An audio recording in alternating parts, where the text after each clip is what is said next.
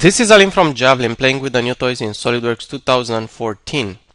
In this video I will show you how easy it is to change your design intent using the new functionality from SOLIDWORKS 2014 when um, you have to do some really radical changes. It's not just a simple change of a sketch or some dimensions but actually uh, I'm gonna change completely the type of features that I'm using in the beginning of, uh, of the feature tree. Uh, this example is uh, taken from the Essentials uh, manual. Those of you who took the course would find it familiar. You remember um, it's an exercise that students have to build after they learn how to do how to use the revolve feature. So in this uh, case, uh, the student actually um, was afraid to to go outside his comfort zone, so he used the boss extrude feature. So notice he did here an extrusion with a draft and after that using the layer cake approach he added another uh, boss extrude and just at the end he actually did a revolve uh, to finish the body of this uh, tool post. Uh, this is not what I want actually I would like the whole thing to be done with a simple revolve command. So let's try to create a sketch right now uh, trying to capture his um, outline because I don't want to, to recreate this. So I'm going to pick up the front plane and uh, one quick way of doing this is by using the intersection curve. So uh, if I'm using the intersection curve between this front plane and these faces, let's see what we get. Notice the, the overall um, it's, like doing a convert entities in uh, no time at all. And uh, also, I'm just to remove uh, some of this uh, um, uh, some of these results, I'm going to draw a center line and I'm going to do a little bit of trimming. So I'm going to get rid of the areas that I don't really want. So really, the sketch now is very similar to a convert entity uh, command. So let's uh, save the sketch. This is going to be the sketch uh, used for the final revolve. Let's come back to the present and let's delete these three features. Remembering I want to delete them and also their sketches without really deleting all their, their children. Um, in order to see which one are the sketches, maybe it would be a good idea to take advantage of the functionality introduced by SOLIDWORKS 2013 in order to see the um, feature tree in, uh, in the historical manner. So I'm going to use this show flat tree view. So the sketches are just going to be shown in the tree at the moment of their creation, which obviously is before creating the features. So let me delete this boss extrude one. And uh, what's new in SOLIDWORKS 2014 is the ability to actually select what you want to delete. So I'm going to delete this absorb uh, feature, which is going to be uh, this uh, the sketch used for this feature. But also I'm going to select what I want to delete. So I'm not going to delete everything. I'm going to delete obviously sketch 6, which will get rid of the boss extrude 2, which, which is this one, and sketch 7, which is going to get rid of this revolve, and, uh, and nothing else. Let's click OK or yes. And as you can see, uh, nothing else get, got deleted, and uh, let's keep going. So I'm just going to go back again in time after I created this sketch 8. I'm just going to edit it.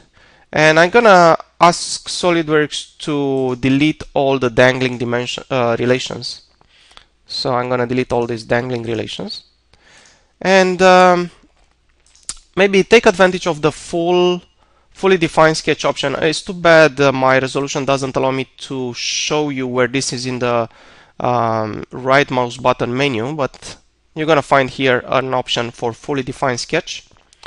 And let's start by applying only the relations. So if something is horizontal or vertical I, or tangencies or whatever, I want that to be applied automatically. So calculate, and as you can see, quite a lot of relations have been applied automatically. Uh, so the circle is is now coincident. Uh, the center of the circle is coincident here. Uh, this is uh, vertical, this is horizontal, and so on and so forth. Let's uh, run this one more time. I, I could have run it in one uh, in one go, um, but I just wanted to show you the actually what uh, what actually happens. So this time I'm going to add the relations uh, dimensions. So let's say I'm going to dimension everything based on horizontally from this line and vertically from maybe from this line. So add all the dimensions, and as you can see, this is fully defined. Um, it's time to do my revolve. Uh, this, uh, as you can see, it's it's open and SolidWorks is asking me if I want to close it. I'm going to say yes. And the revolve body has been created. Now let's go back to closer to the present. And looks like this sketch number two is crying because it had some relations that have been applied to in regards to the old um, entities that are not there anymore. So for example, this line looks like it wanted to be collinear with something. So let me try to reattach this relation to this silhouette edge. So it worked pretty nicely. Now I have a bunch of coincident relations that also have to be uh, reattached. So I'm going to try to attach this to this edge. I'm going to try to attach this to here actually I have two relations so I have to get rid of one of them. So I'm going to try to reattach this to I don't know let's say this edge or even better, let's delete it completely. And I'm just going to get this point and attach it to this intersection point if possible. If not, let's see. So I got it uh, to that point. It looks like I couldn't get it. So I'm just going to go to the intersection of these two lines. And uh, there you go. I believe this is pretty much it. If I just go save, the sketch doesn't have any errors anymore. One step closer to the present, the cut extrude works. One step closer to the present, the mirror works, so the flats have been created. Let's go to sketch number three, which complains again. So let's edit it. I'm gonna go normal to. And again, let's uh, update this uh, dangling dimensions and relations. So I have this dimension that now has to go to this edge. I have this dimension that now has to go to this edge. I have this collinear relation uh, let's select this line and I'm gonna go to this edge now. So very handy this uh, reattachment. Uh, let's see what this one is complaining about. Looks like I wasn't able to attach this properly. Let's try one more time. Now it's okay. And I have one more coincident relation here that is complaining. I'm just to drag it to this end and if I'm looking for display delete relations and filter by dangling relations there are none left so this is fine. So uh, let's come back one one step closer to the present and that sketch was used for another cut revolve.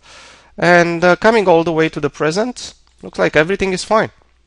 Um, only one of the equations that was used before is crying so I'm just gonna delete it. I don't need it anymore as you can see, in no time at all, I was able to do something really, really complex. I deleted three features without deleting their children, and in no time at all, I was able to reattach uh, all the relations. I hope you like it, and uh, you're going to enjoy using SolidWorks 2014.